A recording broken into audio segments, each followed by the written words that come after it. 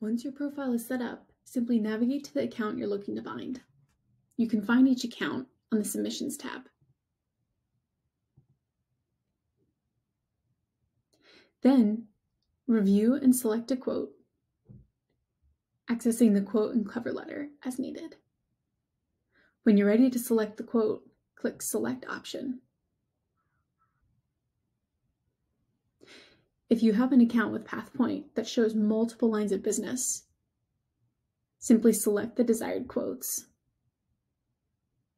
review the totals, and then click Continue. From here, you can access the quote and cover letters as well. When you're ready to bind, click Continue to Subjectivities.